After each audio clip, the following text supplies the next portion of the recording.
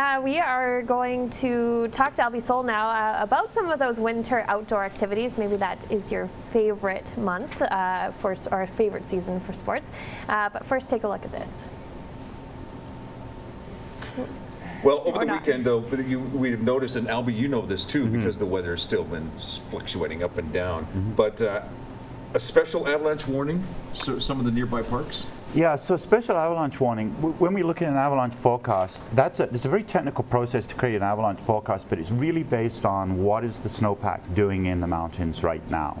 But you know, we don't really care what the snowpack's doing. It's about what people are going to do in that snowpack. And so we see a special avalanche warning when it, there's something in the, that's going on in the people world that's going to bring those two worlds into conflict. And so what we saw last weekend was typical. You looked at the avalanche forecast. It actually looked like a pretty mellow weekend. You know, sure. lots of low avalanche hazard, moderate avalanche hazard, a little bit of considerable if you were not thinking about it, you might go, well, this is a time to go and do some really adventurous stuff in the backcountry. But because of that, and because the weather was good so people can get out there, there's a lot of concern because there it's really not obvious it's dangerous. Probably you're not going to trigger an avalanche, but if you do, it's going to be really serious. And unfortunately, we saw that.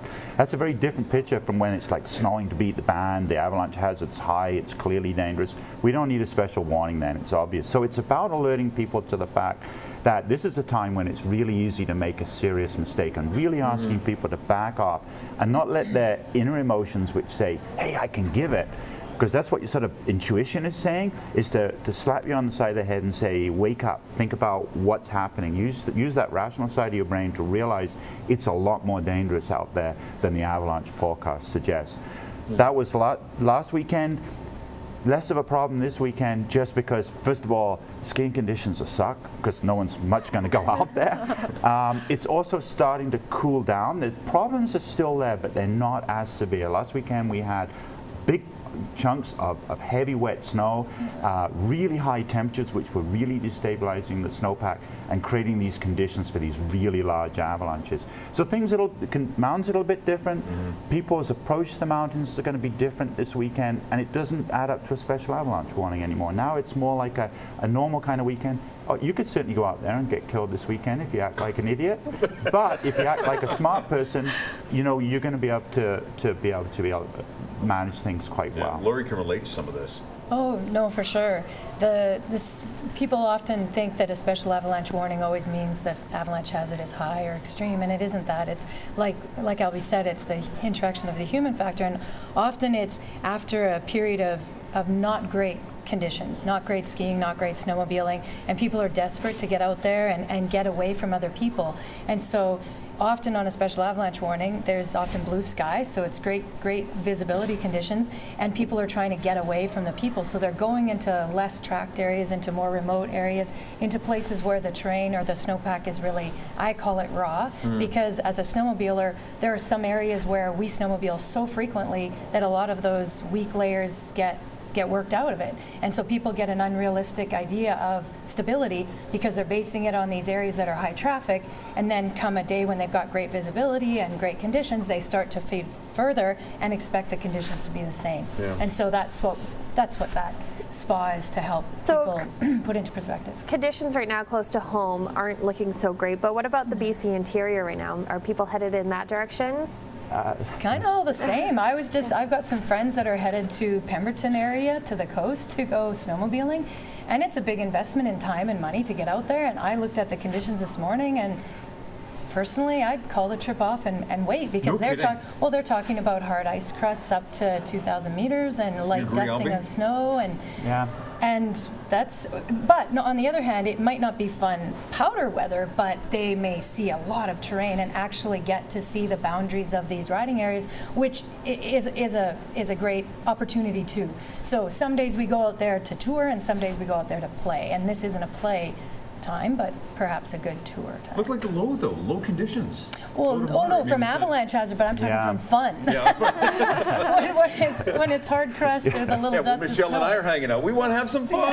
right? we, don't. If we want to avoid avalanches, we know how to do that. You stay yeah. in town. It's about the fun. yeah. So you know, actually, if you can get up above tree line, that there is in the interior, there is good skiing to be had. Mm -hmm. Well, not great skiing, but it's good skiing. Um, and we're talking about the there's a possibility that we don't know how much snow is going to come, but here on the front side of the Rockies, we may actually get enough snow today and tomorrow. There may actually be good skiing uh, after this, but I can tell you that down low, probably not so much. And you've got to get through the down low stuff to get to the up high bit. Yeah, yeah. Like, I know Michelle wants to go. You do a lot of outdoor activities with I- your I Calgary do. Sport and Social Club, yeah, right? We do have an annual ski trip as well. So we were just in Kimberley in January. I have a confession though, I've never been. So embarrassing. I've been here for over 10 years and I have not tried skiing or snowboarding, but after talking to these two, So, if, so here we go, Albi. If, if Michelle and her group want to go out, they want to do a little backcountry adventuring, and we're bringing Kate and myself along, Yeah. what do we need to know before we head out? Well, I I think about conditions. Like I wouldn't like cross country skiing right now. No, it's like Okay. not not good. Snowshoeing? Um, snowshoeing is, And it's is not from not a danger great. point of view, it's from the, it's from the It's from the the snowpack. It's Yeah, from it's the fun perspective. fun. Yeah, When fun our snow is, perspective. yeah, we hard get some snow down low, um, then you know by next weekend it may actually be great. You know, with cooler temperatures, snow cross country skiing might be great. Right now, actually walking's not bad. The, the snow is so hard that some of the trails Don't even you need can snowshoes. actually like you can. Maybe Wow. we could play volleyball in the snow. Oh, yeah. There's a whole other new sport. yeah, Yeah. snow So volleyball. frequently walk trails like Johnson Canyon, actually, I mean, you need ice cleats on your shoes or you're going to be sliding down. But, you know, it, there's actually people are out, out there walking and having a great Oh, time great. doing stuff like that this weekend. Um, certainly, uh, when we get the snow back in, I mean, it's, it, this happens. And it's not actually that unusual. Every winter, we tend to have a period where it's actually not great. And so it's not great right now. In a week or so, and to be honest, and this is something people forget, usually the best conditions, March and April, for all these activities.